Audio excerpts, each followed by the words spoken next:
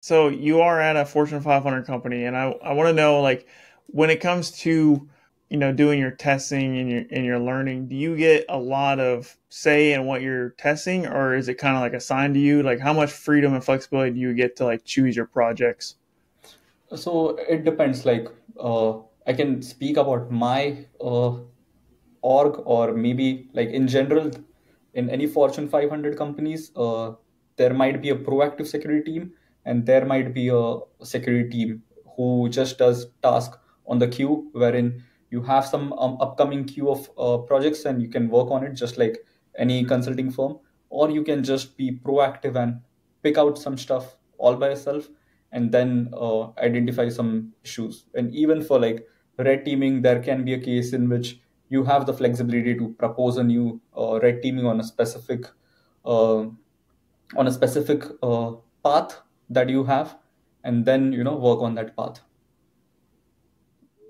Nice. And uh, so are you doing like are you working only on like your company's technology stack or are you doing like consulting stuff as well uh, right no now? I, i'm not doing consulting stuff so uh, for red teaming at fortune 500 it's uh, really different compared to doing it as a consultant so I, I I have worked as consultant in the past and i've done a lot of internal red teaming external red teaming. So you do a lot of stuff like doing some phishing attacks or doing some social engineering attacks. And even for like on-site attacks uh, you are permitted to do a lot of things as a vendor. But when you're working in a fortune 500 companies the processes and everything is different. So you are only allowed to work on a specific areas. But more or less even if you learn anything that is outside it might not apply to the company. It always depends on the technologies that they are using internally. So one fortune 500 company might not even uh, be using a technology that you are trying to attack. For example if there is a AD based attack and you're trying to simulate that attack in company a it might not even be vulnerable because they are not using uh, a specific service in AD so you know and anything that you learn outside it might not be transferable but the overall mindset the process of red teaming it, it stays the same that you do some recon then you identify the high value target in in the particular org it might be external or internal and you find a path in which you can simulate the uh, external adversaries and if you say if the path is achievable or not. So the overall process for red teaming is same but the technicalities in which we perform the actual red team it might differ from you know all all the fortune 500s they have different you know network stack so it might differ Okay, so it kind of sounds like there's like a lot of like um, limitations on what you can do, kind of like a lot of red tape, right? You don't get a lot of uh, like you, you gotta you gotta approach things like in a in a structured way compared to consulting. Is that is that accurate?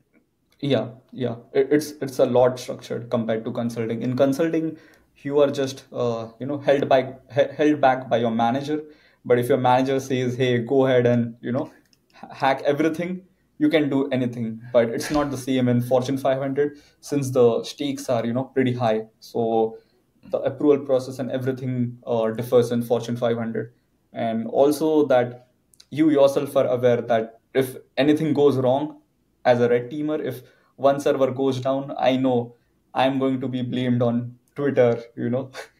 It's going to be a big mess. It's not going to be just org level uh, you know issue it would be a worldwide issue so that's the reason i i don't want to mess around yeah, yeah, worldwide issue. That makes that makes a lot of sense. Yeah. Could you imagine it, like the cross CrowdStrike thing? You know, like uh, you you literally mess up the whole world. One guy pushed the wrong patch, and it's like, whoop, you know, world's biggest outage. So, yeah, yeah, I never thought of it that way as like working for a, a huge company like that. But that that absolutely makes sense. So, would you say since since you got to be more careful, you know, working for a Fortune 500 company um, compared to consulting? Would you say Mhm. that the pace at which at which you work is slower than consulting?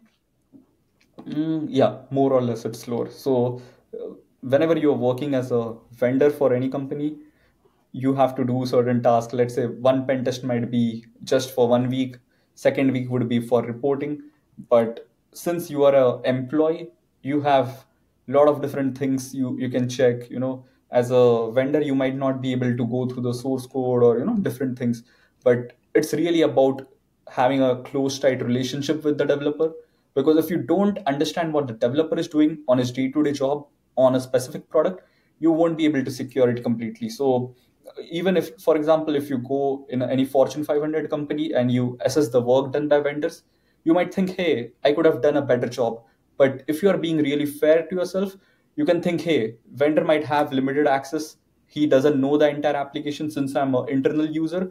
I know how the app works in real life uh, internally. So that's the difference. When you're a um, security engineer you have to think from a different mindset. You have to shift left wherein you have to go through the developer's mindset understand why they're not able to fix it. And you know as a vendor you just send out the report and you say yeah fix it but as a security engineer you have to think hey how can i help them fix it? Sometimes there might be genuine issues that hey they are not able to turn on certain service because of policy a they can't use this tool. Now you have to find an alternative library which the org approves and so on. So it's a tedious process. But yeah in the long run you might more uh, you, you might create more impact than just a pen test as a security engineer that's nice to know yeah as a as a consultant penetration tester i definitely don't work with you know developers uh, you know closely you know i'll talk to uh, a developer maybe sometimes i don't even do that during a kickoff call and then maybe during a wrap up call. But like you said, yeah, it's exactly like that. I find a vulnerability, I put in a report, and I'm like, here, fix this, and then that's it, you know. And it's like it's like I don't really, you know, it's gonna I'm only gonna write like you know a page worth of stuff on that one finding. You know, it's not like it's like super um, in depth. Like I'll do my best to explain how to fix it and and you know what the problem is, but at mm-hmm. the end of the mm-hmm. day, like it's just like a one page, maybe two, depending on what it is. And then if they have any questions about it during a wrap up call, um, I'll dive deeper. But typically, they don't even ask for you know to go dive deeper on it. Mostly because I feel like you know if, I feel like if they don't ask me questions, then I did a good job writing about it. So that's always good to know. But yeah, like you said, uh, I don't work I don't work with uh, developers that, that closely. So that's interesting though because I'd never been into you know working as a offense security engineer slash internal penetration tester like you're doing now. What are the biggest pros from switching over from consulting? to what you're doing now and what are some of the biggest cons? Yeah so for benefit I, w- I would like to say that you get to see what's behind the curtains. You just don't see the play. You actually know how it works who runs the play how are the approvals going on in development and how you can create a maximum impact. So from career growth point of view like if you think from a CISOs or uh, people who are in much technical position or much higher position a security engineer is able to create more impact than a pen tester. So that is one pro I can think of. I think, and one con that I can think of is as a pen tester, you can just go all in, like, you know, do your offensive stuff. As a security engineer, even though you know you can hack into something and destroy something, you are you have to hold back. And it's not that you are holding back. For example, if you can just exploit a RCE and you know gain some cookies, do some stuff, you know, gain escalate it to into the cloud, you know you can do it. But as a security engineer, I, I, won't be wasting my time on chaining the attack. I would rather show the impact, or maybe I can just uh, ask the developer to, hey, can can you show the uh, files on the server? Hey, is there this file on the server?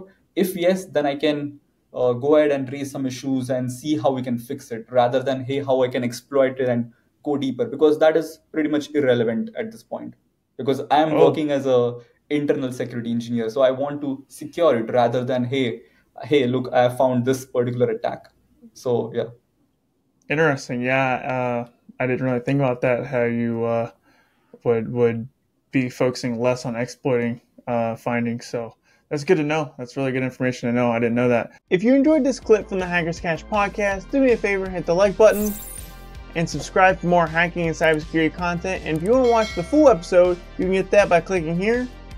Or if you want to watch the best video for you according to the YouTube algorithm, you can get that right here. See you in the next video.